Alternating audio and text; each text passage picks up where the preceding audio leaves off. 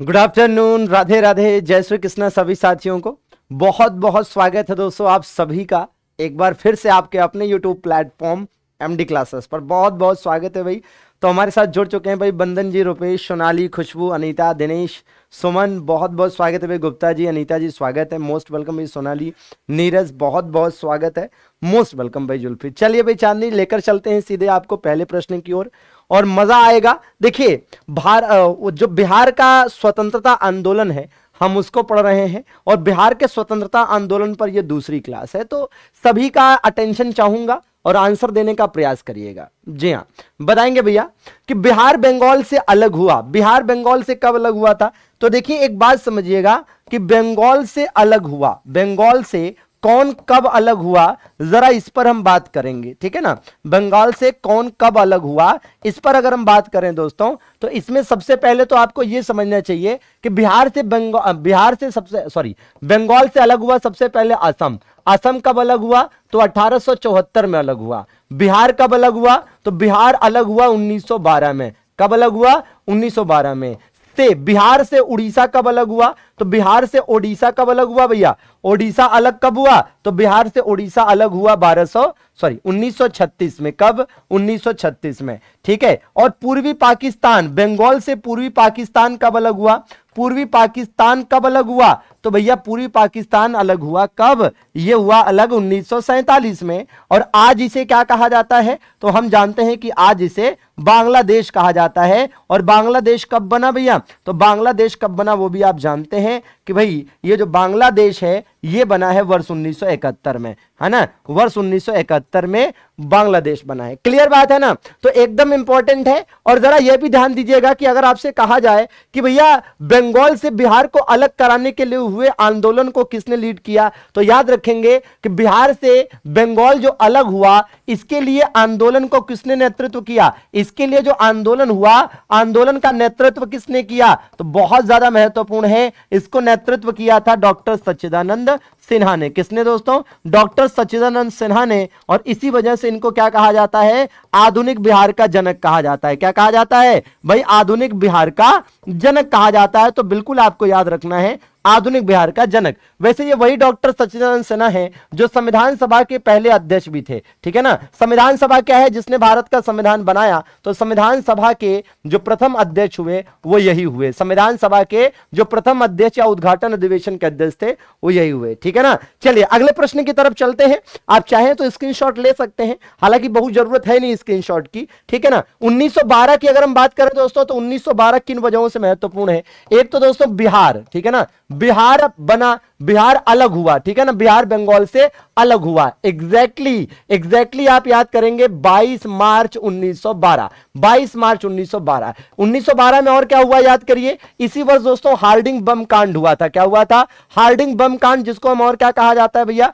तो हार्डिंग बम कांड को दिल्ली षड्यंत्र भी कहा जाता है। क्या कहा जाता है? दिल्ली षड्यंत्र भी कहा जाता है। और इस दिल्ली षड्यंत्र में था क्या? तो दिल्ली षड्यंत्र में हार्डिंग द्वितीय उस समय का वायसराय कौन था? हार्डिंग द्वितीय को मारने का प्रयास, ठीक है ना? हार्डिंग द्वितीय, जो हार्डिंग द्वितीय था, हार्डिंग द्वितीय को मारने का जो प्रयास था, उसी को कहा जाता है। किसको भैया? हार्डिंग द्वितीय को मारने का प्रयास, ठीक है ना? मारने का प्रयास था, उसी को कहा जाता है। ये घटना थी राज बिहारी बोस के नेतृत्व में एक तरह से अंजाम दी गई थी। 1912 में दोस्तों, और याद रखिएगा कि क्या भैया? दिल्ली राजधानी बनी थी भारत की। दिल्ली भारत की राजधानी बनी थी, है ना? दिल्ली भारत की राजधानी क्या हुई थी? राजधानी दोस्तों बनी थी। दिल्ली भारत की राजधानी बनी थी। हालाँकि इसकी घोषणा कब हो गई थी कि दिल्ली भारत की राजधानी होगी, इसकी घोषणा दोस्तों वर्ष 1911 में हो चुकी थी। ठीक है ना? 1912 में और कोई ऐसी घटना जो आपको याद हो रही हो तो याद करिए, बिहार में कांग्रेस का पहला अधिवेशन। बिहार में कांग्रेस का पहला अधिवेशन हुआ था दोस्तों, बिहार में कांग्रेस का प्रथम अधिवेशन। तो याद करिए, बिहार में कांग्रेस का प्रथम अधिवेशन कहाँ हुआ था? जरा फटाफट कमेंट आने चाहिए सभी के। बिहार में कांग्रेस का प्रथम अधिवेशन दोस्त कहाँ पर हुआ? तो भैया, बिल्कुल आपको याद होना होगा। ठीक है, करना चाहिए आपको याद, बांकीपुर में। कहा हुआ था? बांकीपुर में। कौन अध्यक्ष था? कौन अध्यक्ष था बांकीपुर में? बहुत बड़े भाई खुशबू। तो अध्यक्ष थे रंगनाथ नरसिंह मुधोलकर। रंगनाथ नरसिंह मुधोलकर। क्लियर बात है ना? तो चलिए अगले प्रश्न की तरफ़ चलते हैं और ये बताने का प्रयास करेंगे। क्या बात? बहुत बढ़िया सर। अरे वाह, ज़बरदस्त। बता रहे हैं आपको कि गौ रक्षा के मुद्दे पर बिहार के शाहबाद, गया, पटना ज़िले में भयानक हिंदू मुस्लिम जो दंगे हैं, वो किस वर्ष हुए थे?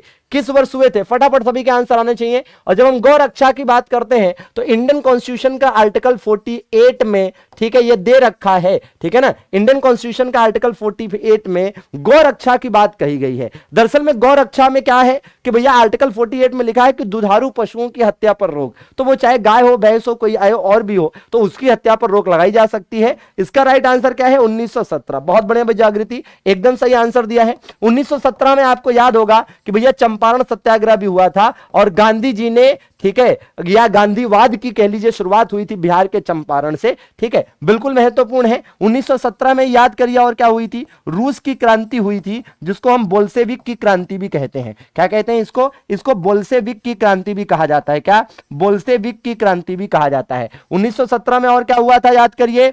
भाई इंडियन नेशनल कांग्रेस का कलकत्ता में अधिवेशन हुआ था और जिसकी अध्यक्ष कौन बनी थी? Annie Besant. पहली बार ऐसा हुआ था भारत के इतिहास में, जब कांग्रेस की पहली महिला कोई अध्यक्ष बनी थी। 1917 में और क्या हुआ था याद करिए? 1917 में मांटेग्यू घोषणा आई थी और मांटेग्यू घोषणा इतनी महत्वपूर्ण थी, मांटेग्यू घोषणा इतनी महत्वपूर्ण थी कि इसको उदारवादियों ने अपने अधिकारों का मैग्ना कार्टा कहा था। ठीक है उदारवादियों ने अपने अधिकारों का इसे मैग्ना कार्टा कहा था। अपने अधिकारों का मैग्ना कार्टा कहा। अपने अधिकारों का मैग्ना कार्टा कहा था। तो आप समझ सकते हैं कि कितना महत्वपूर्ण है और कितनी बार एग्ज़ाम में यहाँ से क्वेश्चन आया हुआ है। अरे भाई मांटेग्यू घोषणा का नाम सुना है आपने ना? तो मांटेग्यू घोषणा जो आई थी मांटेग्यू घोषणा मांटेग्यू चेंसफोर्ड सुधार उन्नीस याद है?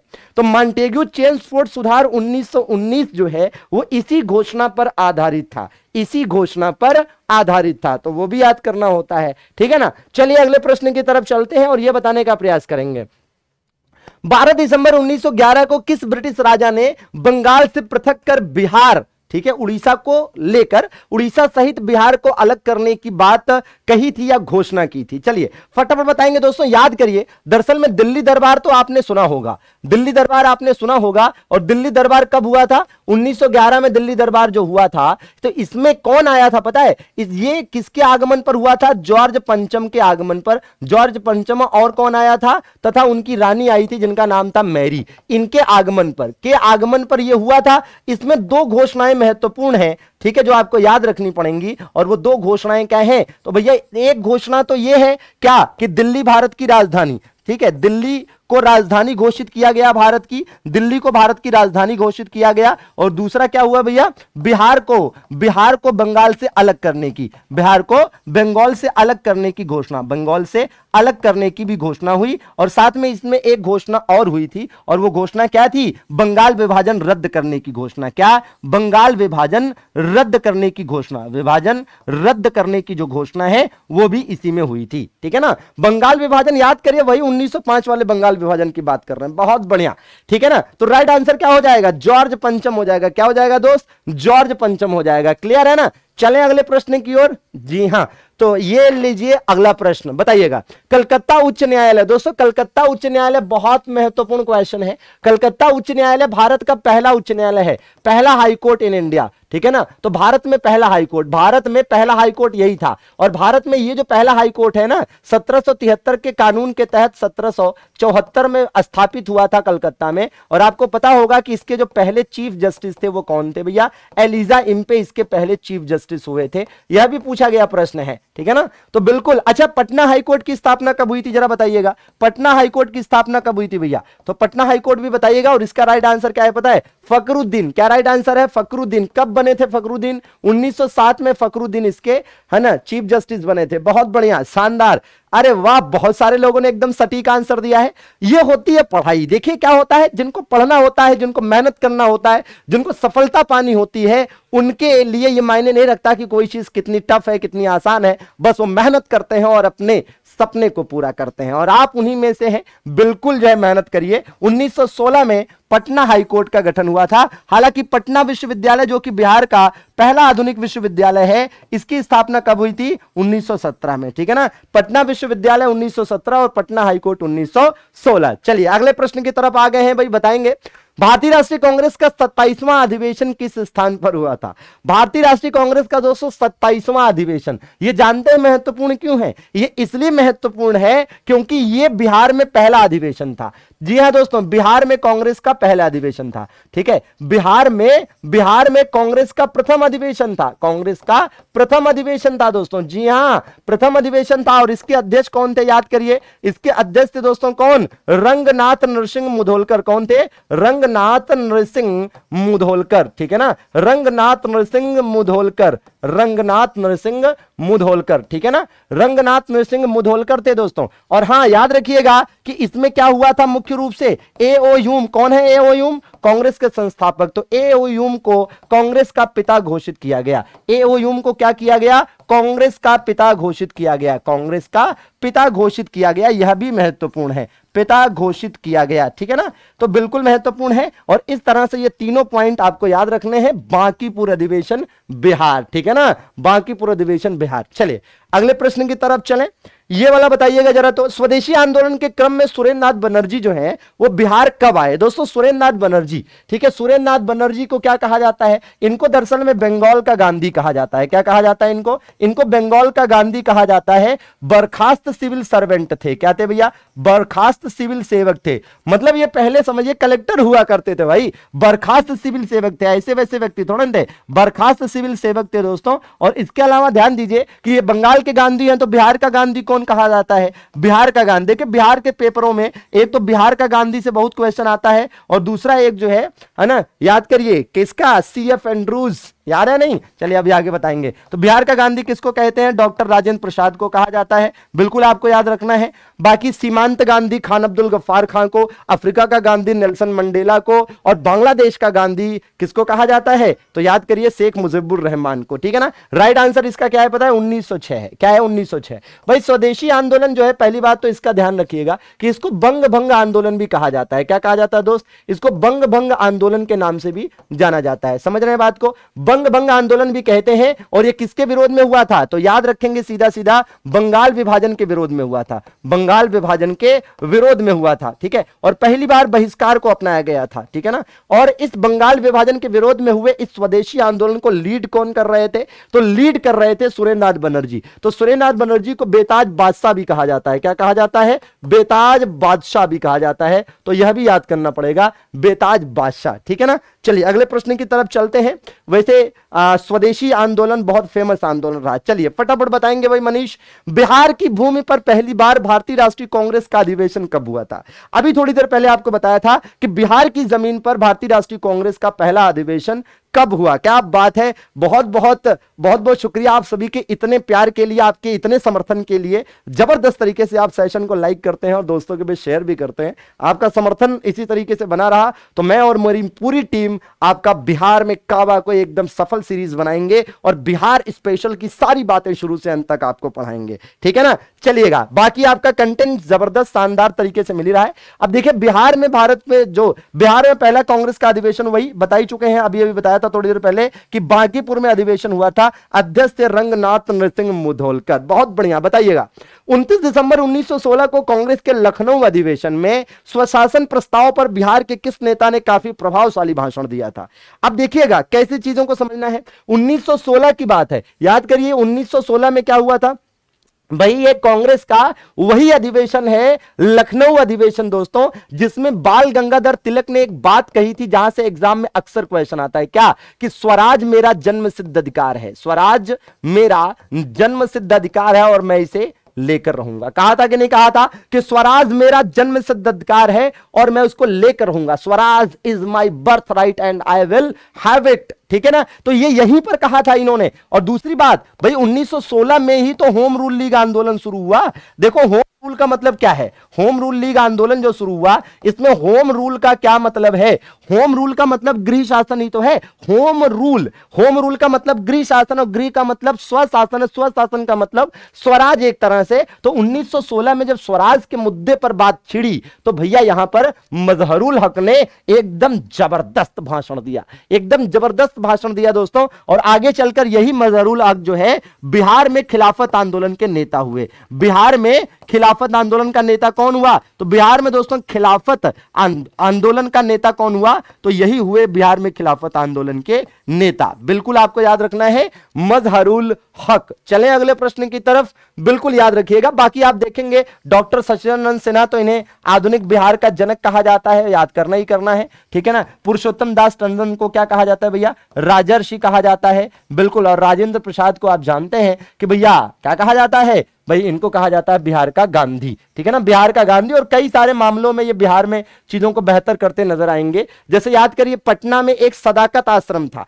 पटना में राजेंद्र प्रसाद का जो निवास था, उसको सदाकत आश्रम कहते थे। ये जो है दोस्तों, पेशे से वकील थे, और इन्होंने असहयोग आंदोलन के दौरान वकालत छोड़ दी। ठीक है ना? हाँ बिल्कुल। आप देखेंगे कि इन्होंने गांधी जी का साथ दिया जब ये चंपारण, है ना? चंपारण का आंदोलन हुआ था और चंपारण में गांधी जी जब आंदोलन किए तो इन्हीं के घर पर रुके हुए थे। ठीक है ना? राजेंद्र प्रसाद जो आगे चलकर भारत के पहले खाद्य एवं कृषि मंत्री हुए, भारत के पहले राष्ट्रपति हुए, संविधान सभा के अध्यक्ष हुए। चलिए, ये बताइएगा भैया। हाँ बता रहे हैं कि मुजफ्फरनगर बम कांड। दोस्तों, मुजफ्फरनगर, भाई अपने बिहार का जो मुजफ्फरनगर वाला क्षेत्र है, यहाँ पर 1908 में मुजफ्फरनगर बम कांड क्यों हुआ? दरअसल में आप देखेंगे तो मुजफ्फरनगर का एक जिला जज था जो काफ़ी बदनाम था। बदनाम था मतलब बहुत गलत व्यक्ति था बहुत बेकार व्यक्ति था। तो जिला जज कौन था भैया? तो जिला जज का नाम था किंग्सले। क्या नाम था भैया? क्या नाम था इसका? आ, जो जिला जज था उसका नाम क्या था? भाई किंग्सले था ना?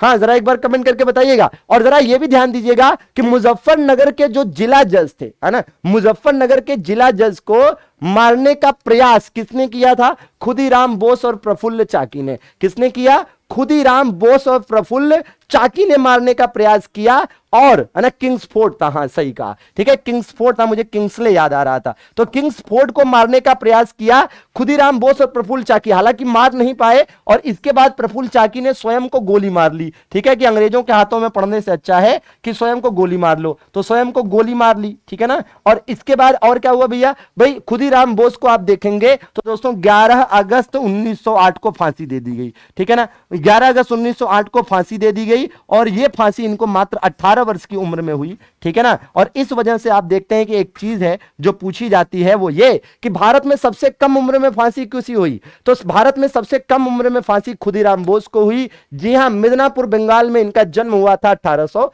नवासी में।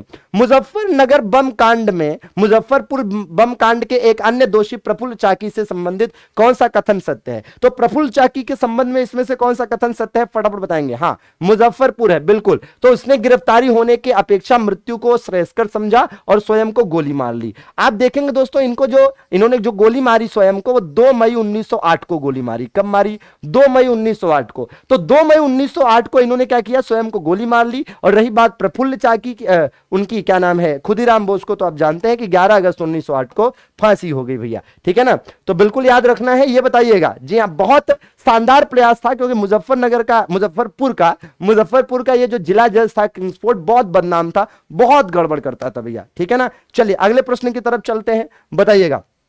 बहुत बढ़िया प्रश्न है और आप सभी के पास आंसर होगा कि बिहार के क्रांतिकारी नेता खुदीराम बोस को फांसी कब दी गई थी? है ना? अभी थोड़ी देर पहले बताया कि खुदीराम बोस को फांसी दी गई थी 11 अगस्त 1908 को। दोस्तों, खुदीराम बोस को 18 वर्ष की उम्र में फांसी दी गई थी। 18 वर्ष की उम्र में फांसी दी गई। और दूसरी बात यह है कि इनका जन्म कहाँ हुआ था भाई? तो इनका जन्म हुआ था अठारह सौ नवासी में और कहाँ पर जन्म हुआ था? मिदनापुर में जन्म हुआ था। कहाँ पर? मिदनापुर, बंगाल में जन्म हुआ था। कहाँ पर? मिदनापुर, बंगाल में इनका जन्म हुआ था। ठीक है, ये बताइएगा जरा बिल्कुल, फटाफट आंसर आना चाहिए कि बिहार के क्रांतिकारी नेता खुदीराम बोस के वकील कौन थे?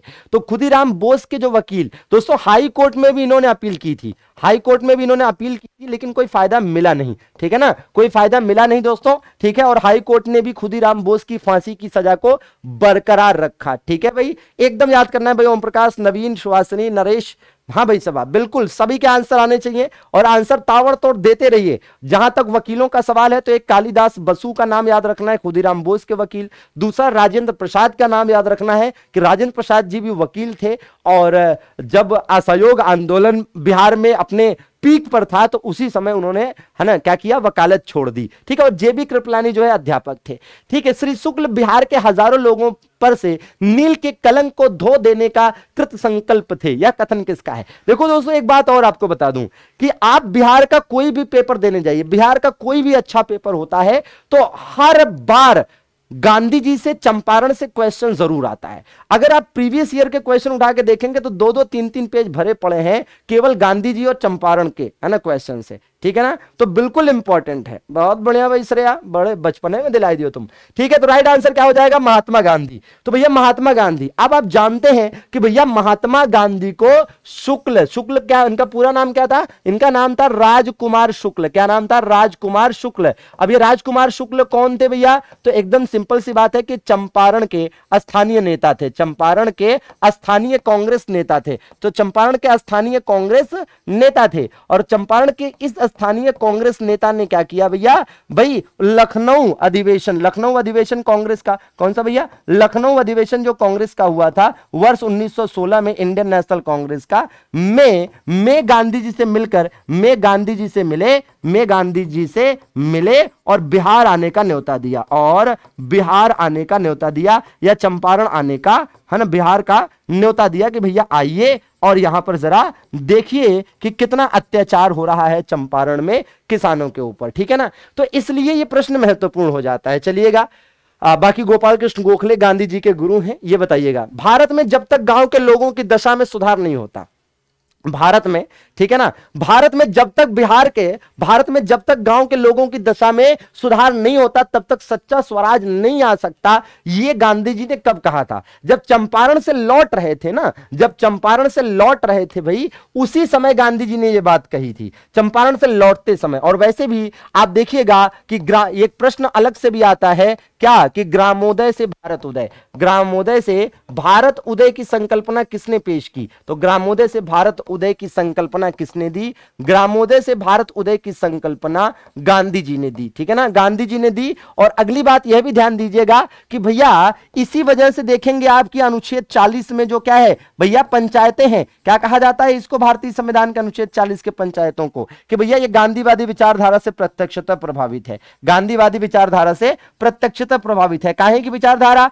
अरे भाई, गांधी जी तो कहते थे ना कि वास्तविक भारत वास्तविक भारत गाँव में बसता है। तो वास्तविक भारत गाँव में बसता है और गाँव के विकास से ही भारत का विकास होगा। तभी तो ग्रामोदय से भारत उदय की संकल्पना दी कि गाँव के विकास से ही भारत का विकास संभव है। चलिए, ये बताइएगा जरा।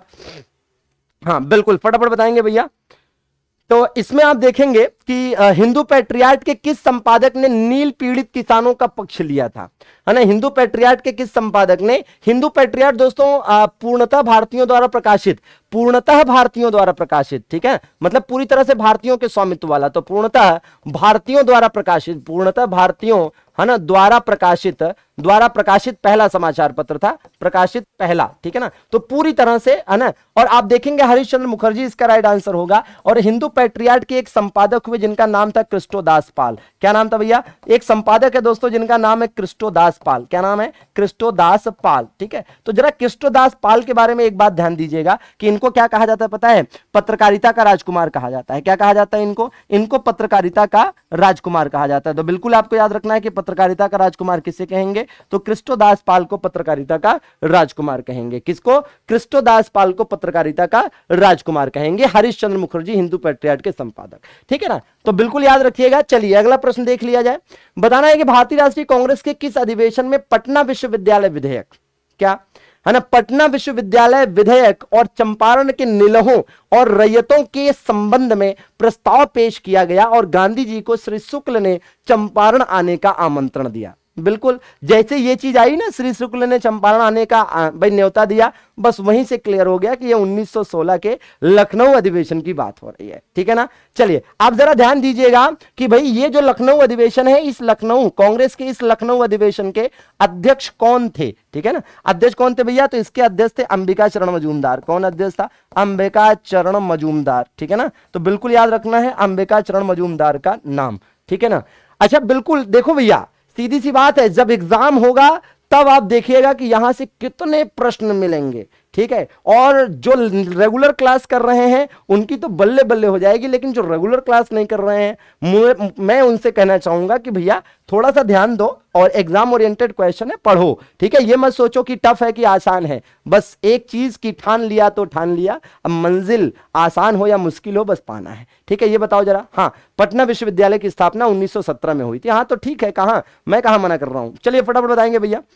बताया आपको कि जेबी कृपलानी चंपारण आंदोलन के समय किस कॉलेज के प्राध्यापक थे? है ना? किस कॉलेज के प्राध्यापक थे? तो आप देखेंगे कि जो आचार्य जेबी कृपलानी है दोस्तों, ये चंपारण आंदोलन के समय भूमिहार ब्राह्मण कॉलेज मुजफ्फरपुर के प्राध्यापक थे और फिर ये जब चंपारण आंदोलन में सक्रिय हुए तो इनको बर्खास्त कर दिया गया। जब चंपारण आंदोलन में सक्रिय हुए तो इनको बर्खास्त कर दिया गया। अब ध्यान रखिएगा कि चंपारण आंदोलन जो है ना, जो चंपारण आंदोलन है, उसमें गांधी जी का सहयोग जेबी कृपलानी ने भी किया था और राजेंद्र प्रसाद ने भी किया था। ठीक है, लेकिन एक बात और है कि चंपारण आंदोलन आंदोलन में गांधी जी का विरोध किसने किया था? चंपारण आंदोलन में गांधी जी का विरोध किसने किया था? जरा फटाफट कमेंट करके बताइएगा तो। हम्म। एक चीज़ देखिएगा। देखिए, जब आप चंपारण आंदोलन की बात करते हैं, ठीक है ना? चंपारण आंदोलन की बात करते हैं तो कुछ चीज़ें आपको समझना पड़ेगा और वो ये समझना पड़ेगा कि जैसे एक तो ये कि भैया ये गांधी जी का पहला आंदोलन था, गांधी जी का प्रथम आंदोलन, गांधी जी का गांधी जी का इवन भारत में भी, गांधी जी का भारत में कह लीजिए, बिहार में कह लीजिए, में प्रथम आंदोलन था, ठीक है ना? प्रथम आंदोलन था, ये एक महत्वपूर्ण बात है। दूसरी महत्वपूर्ण बात यह है कि भाई ये किसके विरोध में था? तिनकटिया प्रथा के विरोध में था। किसके विरोध में था? तिनकटिया प्रथा के विरोध में। तिनकटिया प्रथा का विरोध, ठीक है ना? तो तिनकटिया प्रथा के विरोध में था, ठीक है? और तिनकटिया प्रथा में क्या था? तिनकटिया प्रथा में यह था कि तीन बटे बीस हिस्से पर नील की खेती। ठीक है ना? तो किसानों को अपने खेत के तीन बटे बीस हिस्से पर नील की खेती करनी पड़ती थी, ठीक है ना? नील की खेती करनी पड़ती थी और इसी के विरोध में यह आंदोलन हुआ था, ठीक है? अब इसमें देखेंगे आप जैसे सहयोगी की बात करें कि गांधी जी के सहयोगी कौन थे? तो दो लोग, दो लोगों का नाम मुख्य रूप से आएगा राजेंद्र प्रसाद का और किसका भैया? जेबी कृपलानी का। इन दो लोगों का नाम यहाँ पर आएगा। और अगली बात ये कि भैया इसमें ये भी कि भैया आने का न्योता किसने दिया था यहाँ पर? चंपारण आने का न्योता भी याद रखिएगा कि वो तो बता ही चुके हैं, लेकिन एक जगह पर जानिए कि भैया किसने दिया था? राजकुमार शुक्ल जी ने, ठीक है? यहाँ पर आने का इनको न्योता दिया, ठीक है? और गांधी जी का इस समय जान किसने बचाई थी? है ना, इस दौरान गांधी जी की जान किसने बचाई थी? तो ये वाला क्वेश्चन भी बहुत इंपॉर्टेंट है कि इस दौरान गांधी जी की जान किसने बचाई थी? बतख मियाँ ने बताई, बचाई थी। किसने भैया? बतख मियाँ ने इस दौरान गांधी जी की जान बचाई थी। अगली बात यह है कि इस आंदोलन में गांधी जी का विरोध किसने किया? इस आंदोलन में गांधी जी का विरोध किसने किया था? तो यह किया था भैया एन जी रंगा ने। किसने किया था? तो एन जी रंगा नाम के एक व्यक्ति थे। इन्होंने विरोध किया था भैया। और चंपारण आंदोलन की सफलता पर, की सफलता पर, की सफलता पर, की सफलता पर। तो भैया, ये आंदोलन सफल रहा। सफलता पर रविन्द्रनाथ टैगोर ने, किसने दोस्तों? रविन्द्रनाथ टैगोर ने, रविन्द्रनाथ टैगोर ने क्या किया? इन्हें महात्मा की उपाधि दी। क्या दिया? महात्मा की उपाधि दी। क्या किया महात्मा की उपाधि दी थी, यह भी आपको याद रखना है। ठीक है ना? बहुत ज़्यादा महत्वपूर्ण है। ये सारी चीज़ें याद करके रखना है। और इस दौरान गांधी जी ठहरे कहाँ पर थे? तो गांधी जी गांधी जी राजेंद्र प्रसाद जी के यहाँ ठहरे थे। राजेंद्र प्रसाद के यहाँ रुके। ठीक है? राजेंद्र प्रसाद के यहाँ ठहरे थे। तो ये भी एक चीज़ है जो आपको याद करने का प्रयास करना है। ठीक है? तो इतनी चीज़ें हैं चंपारण आंदोलन के बारे में जो बहुत महत्वपूर्ण है। बाकी आप जानते हैं कि आंदोलन 1917 का है। ठीक है? चले अगले प्रश्न की तरफ़, ठीक है। हाँ गांधी जी ने गांधी जी ने रविन्द्रनाथ टैगोर जी को गुरुदेव कहा और रविन्द्रनाथ टैगोर जी ने इनको महात्मा कहा। क्या बात है। मतलब एकदम बिल्कुल मान गए। क्या बात है। गजब। इतना बढ़िया कंटेंट और रेगुलर क्लास ज़बरदस्त एग्ज़ाम ओरिएंटेड क्वेश्चंस के बावजूद लाइक करने का मन जिसका ना करे खून नहीं वो पानी है। क्या बताएँ यार? निम्नलिखित में से कौन सा अंग्रेज़ चंपारण आंदोलन और गांधी जी का समर्थक था भैया?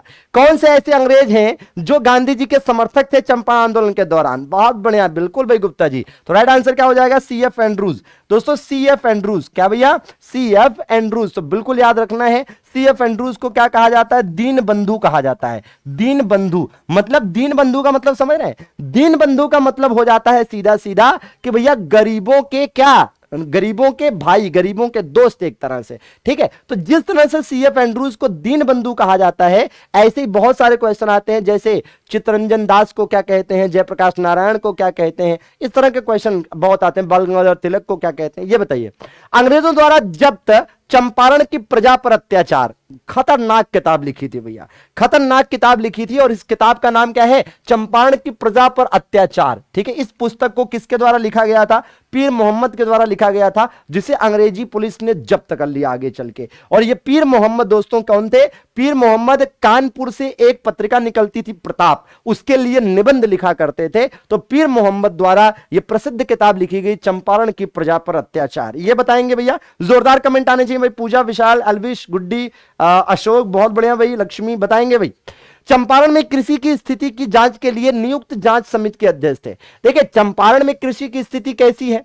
भाई वो तिनकटिया प्रथा वगैरह की वजह से कृषि की स्थिति बड़ी खराब थी, ठीक है ना? तो उस स्थिति की जाँच करने के लिए जो समिति बनी थी, उसके अध्यक्ष कौन थे ये बताना है। वैसे आपको बता दें कि महात्मा गांधी इसमें सदस्य थे तो महात्मा गांधी इसके अध्यक्ष नहीं थे। अब कोई और आंसर तलाशो क्योंकि महात्मा गांधी तो इसमें क्या थे? सदस्य थे। तो अध्यक्ष कौन थे भैया? तो सी जी सलाई ठीक है ना? एफ़ जी सलाई जो है है ना? सलाई देखिए सलाई है ना? अरे मतलब सलाई माचिस वाला सलाई क्या चलिए, ये देखिएगा। चंपारण आंदोलन के परिणाम के संबंध में कौन सी बातें सत्य हैं? इसमें से चंपारण, भाई चंपारण आंदोलन सफल रहा, यह हम सब जानते हैं। चंपारण आंदोलन दोस्तों सफल रहा, यह हम सब जानते हैं। अब आपको बताना है कि आखिर इसमें से कौन कौन सी चीज़ें हुई? तो उपयुक्त सभी, ठीक है ना? उपयुक्त सभी, ठीक है? तो बिल्कुल याद रखना है, एकदम सफल आंदोलन था, ज़बरदस्त तरीके से और सभी के पास आंसर होने चाहिए कि चंपारण आंदोलन से कौन संबंधित नहीं था। आप बताइए इसमें से कौन ऐसा है जो चंपारण आंदोलन से संबंधित नहीं था, ठीक है ना? चलिए फटाफट बताएँगे भैया। तो एकदम राइट आंसर क्या है? जयप्रकाश नारायण। क्या है भैया? जयप्रकाश नारायण। भाई, आप याद करिए कि जो जयप्रकाश नारायण है, इनके संबंध में एक बात याद रखनी होती है कि भाई, भारत छोड़ो आंदोलन के दौरान। भारत छोड़ो के दौरान। के दौरान राष्ट्रीय नेता के तौर पर उभरे। के दौरान राष्ट्रीय नेता। राष्ट्रीय नेता के तौर पर उभरे। ठीक है, ये क्वेश्चन कई बार पूछा गया है, तौर पर उभरे। कई बार पूछा गया है तो एकदम बिल्कुल याद रखना है। याद करिए कि भैया कांग्रेस सोशलिस्ट पार्टी, आपको याद है? Congress socialist party. ठीक है, कांग्रेस सोशलिस्ट पार्टी कह लीजिए, या तो कह लीजिए कांग्रेस समाजवादी पार्टी। क्या कांग्रेस सोशलिस्ट पार्टी या कांग्रेस समाजवादी पार्टी? तो कांग्रेस समाजवादी पार्टी जो है, ये किसके द्वारा और कब स्थापित की गई थी? तो 1934 में इसकी स्थापना की गई थी। किसके द्वारा? तो जयप्रकाश नारायण और मीनू मसानी। fulani इन्हीं दोनों लोगों ने मिलकर स्थापित किया था ना? इन्हीं दोनों लोगों ने मिलकर स्थापित किया था। इसके अलावा जयप्रकाश नारायण आप देखेंगे तो भैया ये जो 1942 का भारत छोड़ो आंदोलन था, इस दौरान हजारीबाग जेल से फरार हुए थे। हजारीबाग जेल से, हजारीबाग आज के समय में कहाँ पड़ता है? आज के समय हजारीबाग झारखंड में पड़ता है। से फरार होकर इन्होंने क्या किया था? भाई, भारत छोड़ो आंदोलन का भूमिगत रहकर नेतृत्व किया। और आगे आप चलकर देखेंगे तो भैया, इनको क्या कहा जाता है? लोकनायक कहा जाता है। लोकनायक जयप्रकाश नारायण। ठीक है ना? लोकनायक जयप्रकाश नारायण कहा जाता है और इसके अलावा इन्होंने आगे चलकर क्या किया? दल विहीन लोकतंत्र की मांग की। मतलब इन्होंने मांग की कि भारत में है ना दल होने ही चाहिए। हाँ, होने ही नहीं चाहिए। तो इन्होंने दल विहीन लोकतंत्र की मांग की। इसके अलावा आप देखेंगे कि इंदिरा गांधी के खिलाफ संपूर्ण क्रांति का नारा दिया। इंदिरा गांधी के खिलाफ संपूर्ण क्रांति का नारा दिया। किसके खिलाफ? संपूर्ण क्रांति का नारा दिया था इन्होंने। इंदिरा गांधी के खिलाफ। किसके खिलाफ? इंदिरा गांधी के खिलाफ। और इसी के बाद क्या हुआ था? भाई, उनको तीसरा आपातकाल वो लगाना पड़ा था, ठीक है ना? याद है? तो बिल्कुल दोस्तों, जयप्रकाश नारायण से रिलेटेड चीज़ें बहुत इंपॉर्टेंट है। एकदम आपको याद रखनी चाहिए। चलिए ये बताइएगा जरा तो। सभी के पास आंसर होने चाहिए। क्या बात क्या बात क्या बात। किसने चंपारण सत्याग्रह के दौरान बिहार में गांधी जी की जान बचाई थी? ये क्वेश्चन बिहार पीसीएस ने पूछा है, ठीक है ना? चलिए, फटाफट बताएँगे, है ना? फटाफट बताएँगे, बिल्कुल मज़ा आ जाएगा और एकदम बिल्कुल ज़बरदस्त तरीके से भैया। और इसका राइट आंसर क्या है पता है? राइट आंसर है बतख मिया। क्या राइट आंसर है भैया? बतख मिया इसका राइट आंसर है। ठीक है ना? बिल्कुल। हाँ एकदम बिल्कुल बिल्कुल भाई मनीष। ये बताओ जरा, बिहार में किस आंदोलन के दौरान राजेंद्र प्रसाद ने वकालत छोड़ दी थी? कौन सा वो आंदोलन था जिसके दौरान राजेंद्र प्रसाद जी ने क्या करी थी? वकालत छोड़ दी थी। क्या करी थी? वकालत छोड़ दी थी। तो असहयोग आंदोलन जो है ना, के दौरान राजेंद्र प्रसाद जी ने वकालत छोड़ दी थी। रोलैट एक्ट के विरोध में पटना में ज़बरदस्त हड़ताल। देखो, पहली बात तो रोलैट एक्ट को जानो की क्या था? याद होगा आपको, रोलैट एक्ट को दोस्तों काला कानून भी कहा गया। क्या कहा गया? काला कानून, ठीक है ना?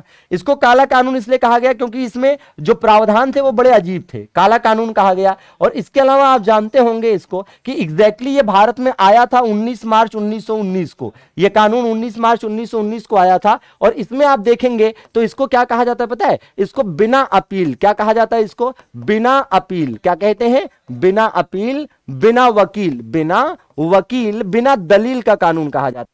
ठीक है? बिना दलील का कानून, ठीक है? तो बिल्कुल आपको याद रखना है, बिना अपील, बिना वकील, बिना दलील का कानून इसको कहा जाता है, ठीक है? क्योंकि इसमें क्या था कि केवल शक के आधार पर गिरफ़्तार करके दो साल तक जेल में रखा जा सकता था। केवल और केवल शक के आधार पर गिरफ़्तार करके दो साल तक जेल में रखा जा सकता था। और याद करिए, के विरोध में क्या हुआ था? के विरोध में, है ना, के विरोध में प्रदर्शन हो रहा था। कहाँ पर प्रदर्शन हो रहा था? भाई जलिया वाला बाग में, ठीक है ना? कहाँ पर जलिया वाला बाग में प्रदर्शन हो रहा था? और जलिया वाला बाग में फिर क्या हुआ, वो आप सब जानते हैं, फिर जलिया वाला बाग हत्याकांड हो गया। जलिया वाला बाग हत्याकांड हो गया, और ये जलिया वाला बाग हत्याकांड जो हुआ, ये एग्जैक्टली बैसाखी के दिन हुआ था। तेरह अप्रैल 1919 को, तेरह अप्रैल 1919 को। अब एक बात का और ध्यान दीजिएगा, एक बात का और ध्यान दीजिएगा। ठीक है भाई प्रणव, बहुत बढ़िया, शानदार, बहुत बढ़िया थैंक यू दोस्त। चलेगा अब जरा ध्यान दीजिएगा कि ये जो जलिया वाला बाघ हत्याकांड हुआ, वो सब तो हुआ ही हुआ। बिहार में बिहार में बिहार में इसके खिलाफ आंदोलन कब शुरू हुआ? बिहार में इसके खिलाफ आंदोलन कब शुरू हुआ? तो बिहार में इसके खिलाफ आंदोलन कब शुरू हुआ? ठीक है ना, इसके खिलाफ आंदोलन। तो बिहार में इसके खिलाफ जो आंदोलन हुआ, वो हुआ फरवरी, है ना, फरवरी 1919 में, ठीक है ना? तो याद रखेंगे बिहार में इसके खिलाफ जो आंदोलन है, फरवरी 1919 में शुरू हुआ, ठीक है? इसका राइट आंसर क्या हो जाएगा दोस्तों? इसका राइट आंसर हो जाएगा आपका 6 अप्रैल 1919 क्या हो जाएगा? 6 अप्रैल 1919 हो जाएगा, ठीक है ना? चलिए, अगले सवाल की तरफ़ चला जाए। हाँ बिल्कुल भैया प्रणव, धन्यवाद दोस्त, धन्यवाद थैंक यू बिहार में रोलैट एक्ट के विरुद्ध आंदोलन आरंभ कब किया गया था? हाँ भाई, फटाफट बताएँगे जोरदार तरीके से। बिहार में रोलाइट एक्ट के विरुद्ध अभी अभी बताया है आपको, जस्ट थोड़ी देर पहले बताया है, ठीक है, कि कब शुरू हुआ था? तो भैया, फरवरी 1920 में शुरू हुआ था। कब शुरू हुआ था? फरवरी 1920 में शुरू हुआ था। ये देखिएगा, खिलाफत आंदोलन का बिहार में नेतृत्व किसने किया था? खिलाफत आंदोलन का बिहार में नेतृत्व किसने किया था? तो भैया, आपको याद होगा, हमने बताया था, है ना, किसने किया था? मौलाना मजहरुल हक ने किया था। मौलाना मजहरुल हक ने किया था, ठीक है ना?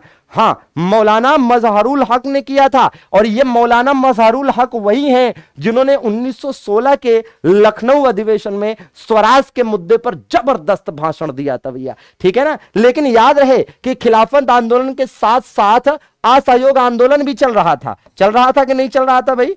चल रहा था ना? भाई, आप देखो, असहयोग आंदोलन और खिलाफत आंदोलन में डिफरेंस क्या है? डिफरेंस ये है कि पहले खिलाफत आंदोलन शुरू हुआ 1919 में और 1924 तक चला, ठीक है? खिलाफत आंदोलन को सपोर्ट करने के लिए 1920 में असहयोग आंदोलन शुरू हुआ और 1922 में, है ना चौरी चौरा कांड की वजह से क्या हो गया? भाई, रद्द हो गया, ठीक है? चौरी चौरा कांड की वजह से क्या हो गया? है ना, खत्म हो गया। तो बिल्कुल आपको याद रखना है, असहयोग आंदोलन के बिहार में नेता कौन थे? है ना? बिहार में लीड किसने किया था?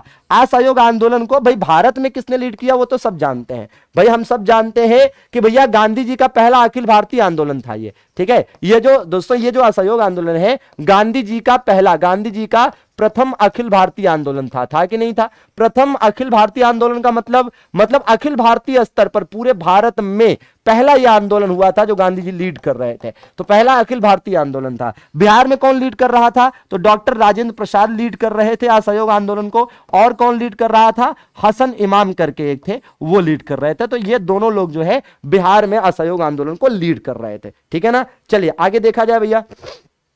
ये देखिएगा, चलिए। बिहार में असहयोग आंदोलन के सर्वप्रमुख नेता कौन थे भैया? देखिए, अभी अभी आ गया। अभी हमने आपको बताया था कि बिहार में असहयोग आंदोलन को किसने लीड किया था भाई? बताएँगे भाई, पुनीता यादव जी, नवीन श्रेया, रुपेश, नरेश, मोनिका, बताएँगे। अरुंधति, बताइए भाई।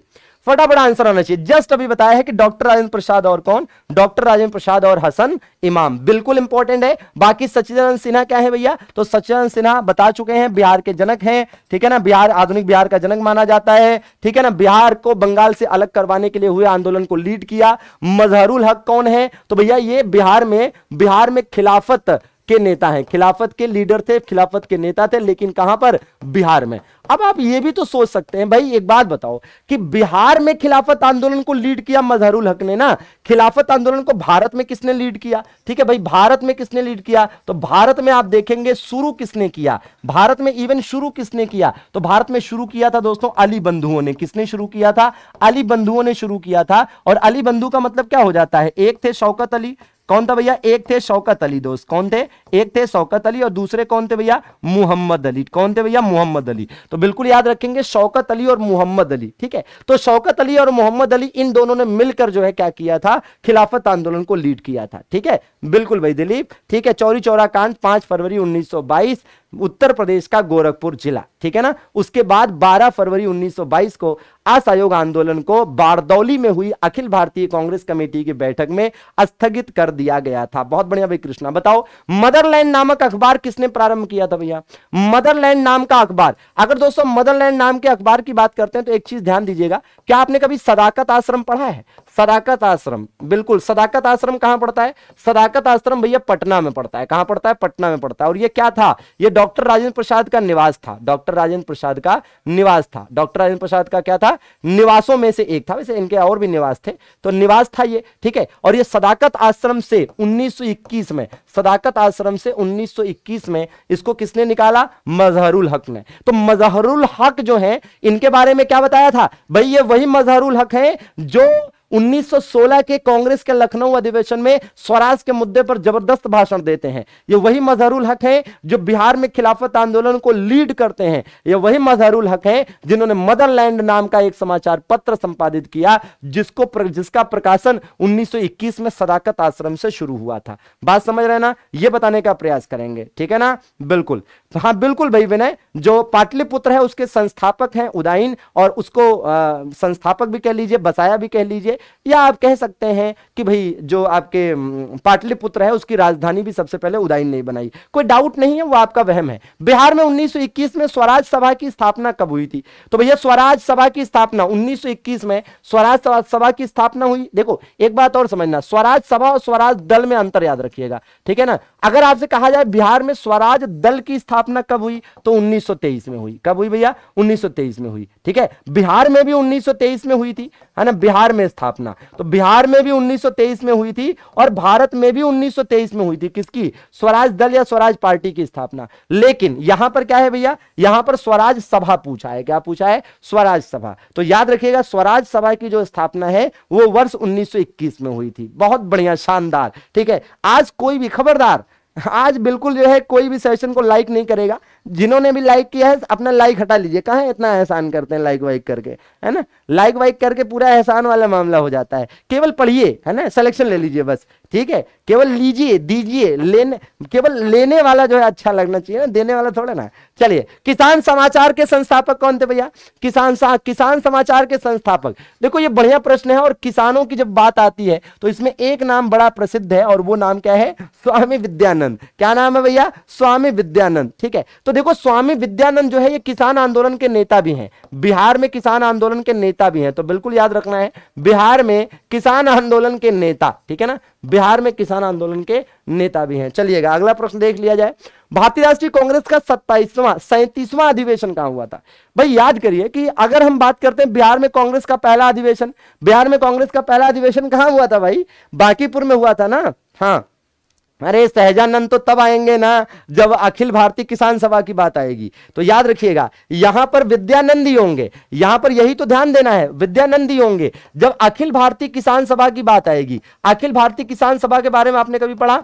अखिल भारतीय किसान सभा की जब हम बात करते हैं तो पहली बात तो अखिल भारतीय किसान सभा का जो गठन है, ठीक है, अखिल भारतीय किसान सभा का जो गठन है, वो लखनऊ में हुआ था। कहाँ पर हुआ था? लखनऊ में हुआ था। लखनऊ में कब हुआ था? लखनऊ में हुआ था वर्ष 1916 में। कब? 1916 में। इसमें आप देखेंगे तो भाई अध्यक्ष कौन थे? इसमें अध्यक्ष थे स्वामी सहजानंद। क्या नाम था उनका? स्वामी सहजानंद। तो इसमें स्वामी सहजानंद अध्यक्ष थे। कौन थे? स्वामी सहजानंद अध्यक्ष थे और महासचिव कौन थे? इसमें महासचिव थे एनजी रंगा। और ये दोनों ही जो है बिहार से संबंध रखते थे, ठीक है ना? एनजी रंगा बिहार से संबंध रखते थे।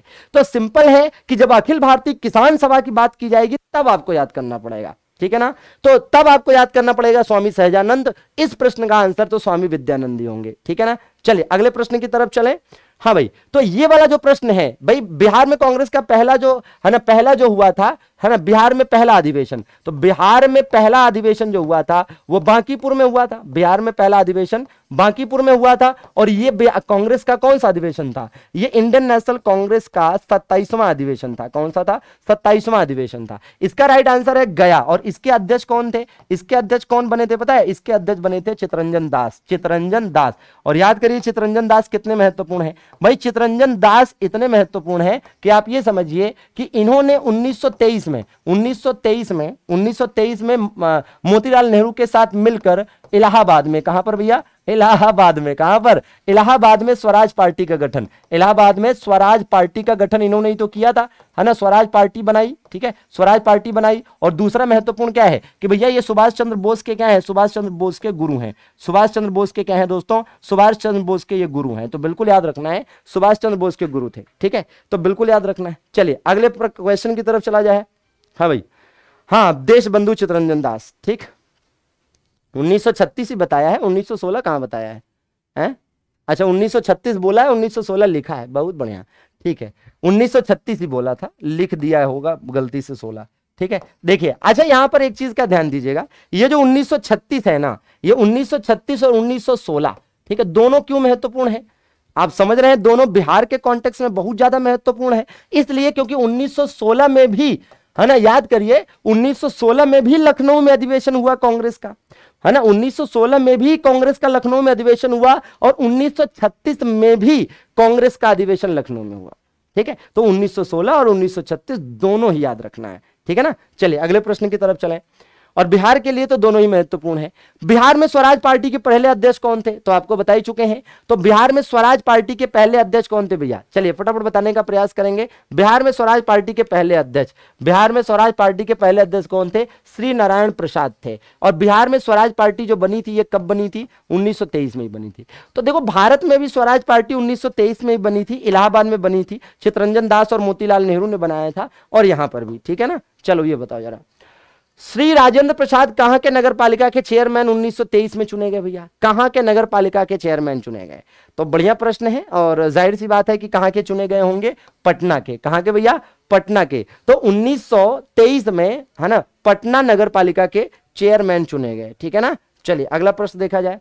बताना है कि सर्च लाइट अखबार निकालना किसने प्रारंभ किया था? तो सर्च लाइट अखबार के संपादक कौन थे? सर्च लाइट अखबार के संपादक बताना है।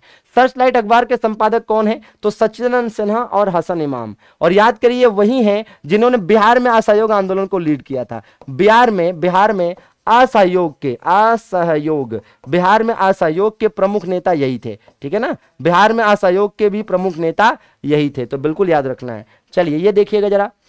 बताएँगे। हाँ भैया बताओ फटाफट तो। बिहार में किस आंदोलन के समय मुठिया प्रथा चालू की गई थी? मुठिया प्रथा क्या थी पता है? मुठिया प्रथा क्या थी? मुठिया प्रथा में यह था कि आ, हुआ ये कि असहयोग आंदोलन के दौरान भाई किसी भी आंदोलन को चलाने के लिए पैसा चाहिए होता है कि नहीं चाहिए होता है? किसी भी आंदोलन को चलाने के लिए पैसा चाहिए ना ठीक है? तो हम देखेंगे कि असहयोग आंदोलन के दौरान प्रत्येक घर से प्रत्येक दिन एक मुट्ठी अनाज लिया जाता था। ठीक है ना? ध्यान दीजिएगा, एकदम बिल्कुल ज़रूरी है, ठीक है? क्या? कि असहयोग आंदोलन के दौरान बिहार के प्रत्येक घर से प्रतिदिन एक मुट्ठी अनाज दिया जाता था इस आंदोलन को चलाने के लिए। इसी वजह से इसे मुठिया प्रथा कहा गया है। यह बताइएगा जरा भाई। असहयोग आंदोलन के दौरान बिहार में कृषकों का नेतृत्व किसने किया था? असहयोग आंदोलन के दौरान की बात हो रही है। किसके दौरान? असहयोग आंदोलन के दौरान बिहार में कृषकों का नेतृत्व किसने किया था? स्वामी विद्यानंद ने किया था। तो याद रखेंगे कि असहयोग आंदोलन के दौरान, और हम बता चुके हैं कि बिहार के नेता कौन भाई? स्वामी सहजानंद। वो कौन थे? वो अखिल भारतीय किसान सभा के अध्यक्ष थे। ठीक है ना? तो इसमें स्वामी विद्यानंद होंगे। ये बताइए, असहयोग आंदोलन के दौरान किसने पटना कॉलेज छोड़ा, जबकि उनकी परीक्षा में मात्र 20 दिन ही बचे थे? मात्र 20 दिन बचे थे, फिर भी छोड़ दिया, ठीक है? मात्र 20 दिन बचे थे, फिर भी छोड़ दिया। मतलब आप समझिए कि कितने लोगों ने अपनी अच्छी अच्छी नौकरी छोड़ दी, अपनी पढ़ाई छोड़ दी, अपना बिज़नेस छोड़ दिया, है ना? अपना बढ़ता हुआ कैरियर छोड़ दिया, अपने परिवार की नहीं मानी, और बिल्कुल सीधा जो है देश सेवा में कूद गए। और यहाँ भाई, कुछ लोग अगर एक टफ टॉपिक देख लें, अगर टफ सब्जेक्ट देख लें तो पढ़ाई छोड़ देते हैं। है ना? यहाँ टफ टॉपिक और टफ सब्जेक्ट देखकर लोग पढ़ाई छोड़ देते हैं, लोग हिम्मत छोड़ देते हैं। लोग लगते हैं कहाँ सिलेक्शन हो पाएगा हमारा? ठीक है? और यहाँ देखिए, कितने कितने संघर्ष, है ना? झेले और क्या कुछ छोड़ा, क्या कुछ त्याग किया और देश को आज़ादी दिलाई। चलिए, किस क्षेत्र में राहुल सांकृत्यायन 1920 असहयोग आंदोलन में सक्रिय थे? क्या आप राहुल सांकृत्यायन का रियल नेम जानते हैं? इनका वास्तविक नाम क्या था? तो भैया, इनका वास्तविक नाम था केदार पांडे। क्या नाम था भैया? केदार पांडे पांडे जी, ठीक है ना? तो केदार पांडे इनका वास्तविक नाम था राहुल सांकृत्यायन बहुत महत्वपूर्ण है, छपरा, ठीक है ना? हाँ चलिए, अगला प्रश्न देखा जाए। बताना है कि अखिल भारतीय चरखा संघ का जन्म कहाँ हुआ था। देखो, ये जो अखिल भारतीय चरखा संघ देख रहे हो ना, पहली बात तो इसका हेड ऑफ़िस याद रखिएगा कि भगलपुर भागलपुर में था। कहाँ पर था? भागलपुर में था, ठीक है ना? कहाँ था भैया? भागलपुर में था और इसकी इसकी स्थापना कहाँ पर हुई थी? पटना में स्थापना हुई थी। कहाँ पर स्थापना हुई थी? हाँ पटना में स्थापना हुई थी, ठीक है ना? हाँ। पटना में स्थापना हुई थी। एक मिनट एक मिनट। अच्छा कौन सा वाला क्वेश्चन अच्छा ये वाला? हाँ। अच्छा इसमें एक मिनट एक मिनट। ये बिहार में जो असहयोग आंदोलन के नेता थे बिहार में जो असहयोग आंदोलन के नेता थे वो आ, हसन इमाम तो थे लेकिन हसन इमाम के साथ सच्चिदानंद सिन्हा नहीं थे। ठीक है ना? यहाँ पर हसन इमाम के साथ कौन थे? हसन इमाम तो थे है ना? नेता तो थे हसन इमाम तो थे लेकिन साथ में इनके कौन थे? डॉक्टर राजेंद्र प्रसाद थे। कौन थे भैया? डॉक्टर राजेंद्र प्रसाद थे। तो बिल्कुल यहाँ पर इसको करेक्शन करिएगा।